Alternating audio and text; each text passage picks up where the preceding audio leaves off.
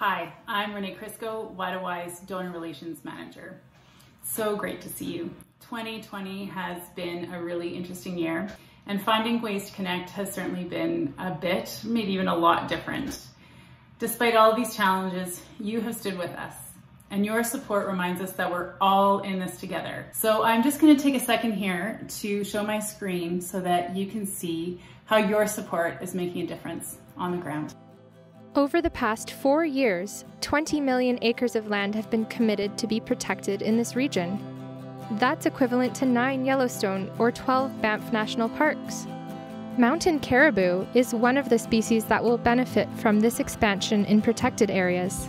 West Moberly and Saulteau First Nations and the BC and Canadian governments signed the historic partnership agreement to protect 2 million acres of caribou habitat in British Columbia's Peace River region.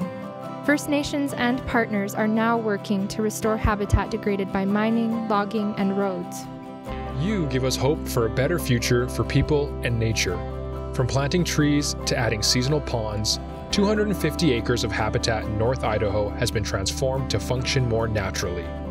This restoration project gives wildlife, from native amphibians to elk, a chance to adapt and thrive in a changing climate.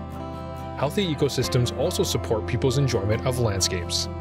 Wolverines have a better chance at survival because you took part in community science. More than 400 people reported signs of this elusive creature as part of a research project in southeastern BC to help understand wolverine and inform better management.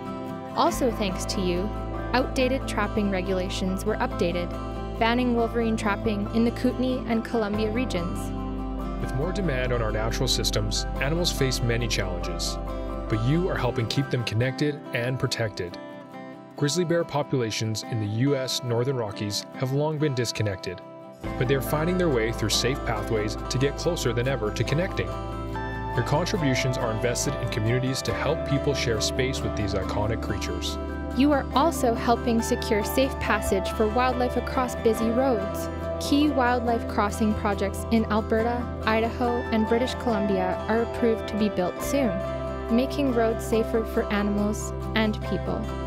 Now more than ever, connectivity is critical for animals as they face climate change and increasing human occupation of the landscape, and for humans as we support each other through these challenging times.